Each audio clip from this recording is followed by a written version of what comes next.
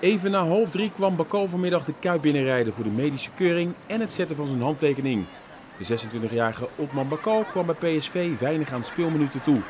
De Marokkaan die één interland speelde, staat al sinds 2003 bij PSV onder contract, maar wel al eerder uitgeleend aan Eindhoven, FC De Bosch en FC Twente. John Guidetti was vandaag niet in Rotterdam, want de spits zit bij Jong Zweden. Afgelopen weekend, rond de wedstrijd Feyenoord-Herenveen, werd Guidetti al voorgesteld aan de spelers en ook al medisch gekeurd. Feyenoord heeft met het aantrekken van Guidetti eindelijk zijn gewenste spits binnen.